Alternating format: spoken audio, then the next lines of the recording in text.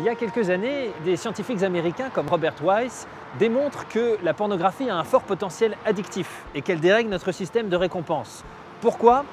Eh bien parce que le visionnage de la pornographie entraîne la libération d'une puissante molécule, la dopamine. Alors l'action se passe dans notre cerveau primitif. C'est la zone du cerveau qui commande les instincts primitifs liés à notre survie, donc boire, manger, dormir, se reproduire. Il y a dans le cerveau un réseau de plusieurs milliards de neurones. Et pour communiquer entre eux, ces neurones, qu'est-ce qu'ils font? Bah, Ils utilisent des messagers chimiques. On appelle ça les neurotransmetteurs. Et la dopamine, c'est justement un de ces neurotransmetteurs. Elle est libérée par le cerveau primitif chaque fois qu'on fait quelque chose de bon pour notre vie. Donc boire, manger, dormir, se reproduire ou encore les actions associées au loisir, aux relations ou au repos. Et lorsque la dopamine est libérée, elle déclenche une sensation de plaisir dont se souvient le cerveau. Il associe alors l'action effectuée à quelque chose de positif qu'il faudra recommencer, activant ainsi le fameux système de récompense. La dopamine influence donc directement notre comportement. Mais alors, dans la vraie vie, comment ça se passe? Ben, C'est très simple. Voici par exemple Julien qui aime beaucoup le chocolat. À chaque fois qu'il en mange, il ressent du plaisir et ça, eh, il s'en souvient très bien. Qu'est-ce qui se passe exactement dans son cerveau au moment où il a envie de chocolat? Ben, Le cerveau va chercher dans sa mémoire si le chocolat est associé à un bon souvenir. Et comme c'est le cas, il libère de la dopamine pour le pousser à l'action. Julien va donc vers le placard où est rangée la fameuse tablette. De plus en plus de dopamine est libérée dans son cerveau jusqu'à ce qu'il prenne le chocolat et mette un carré fondant dans sa bouche. Mission accomplie de la dopamine. Elle a poussé Julien à effectuer une action bonne pour sa vie, manger. Et manger quelque chose de délicieux. Mais c'est pas tout le cerveau a mémorisé que cette action était bonne pour lui et l'invitera à la reproduire. C'est ce qu'on appelle l'effet renforçant.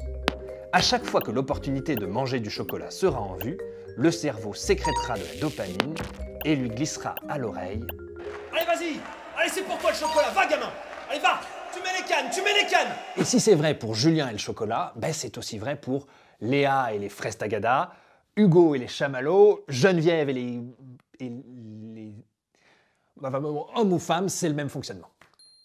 Mais euh, revenons au porno.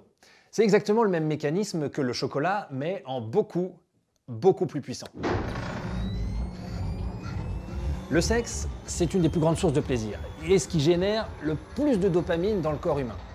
Le problème avec la pornographie, c'est que la quantité de dopamine sécrétée est extrêmement élevée.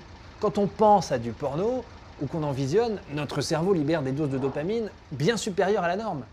Et le problème ici, bah, c'est de soumettre le corps humain et de l'habituer à des doses de dopamine aussi élevées, aussi souvent. Des scientifiques ont prouvé que les quantités de dopamine sont telles que la pornographie a un effet similaire à une drogue dure sur le cerveau.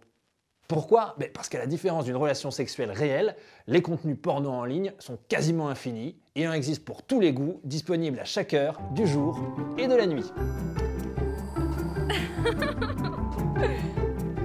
La pornographie en ligne permet de vivre des expériences sexuelles d'une intensité anormalement élevée, aussi souvent que souhaité, aussi longtemps qu'on le désire.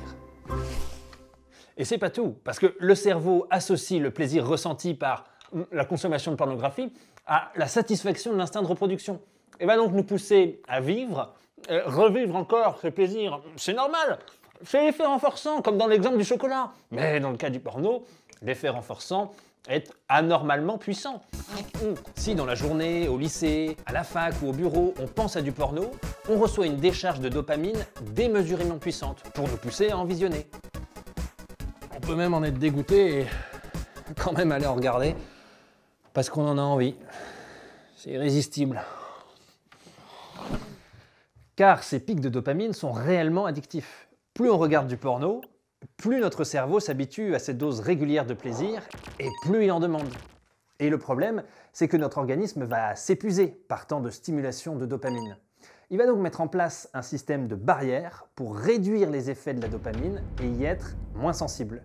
C'est l'accoutumance. Mais c'est le paradoxe, parce que le cerveau continuera en même temps bah, de réclamer davantage de dopamine. Allez mon champion Qui c'est qui va l'avoir? Pour ressentir la même dose de plaisir devant des contenus pornographiques, tout en y étant moins sensible. Ouh Il n'y a pas mieux en stock? La dernière fois, c'était plus. Non? Je sais pas. Alors, pour avoir la même quantité de dopamine, il faudra augmenter la variété et l'intensité des contenus regardés en s'aventurant vers des formes plus originales, voire plus violentes de pornographie. Et c'est ce que des scientifiques appellent l'effet Coolidge. Là, on a comme un léger problème. On risque de ne plus pouvoir se passer de ces pics de dopamine, de cette dose régulière de plaisir. Et ça, c'est le mécanisme exact d'une addiction. Une menace a été détectée. Bon, jusqu'ici, Julien et Léa, ils aimaient le chocolat et les fraises tagada. Mais imaginons pour l'exercice comme ça, hypothèse, qu'ils consomment aussi de la pornographie.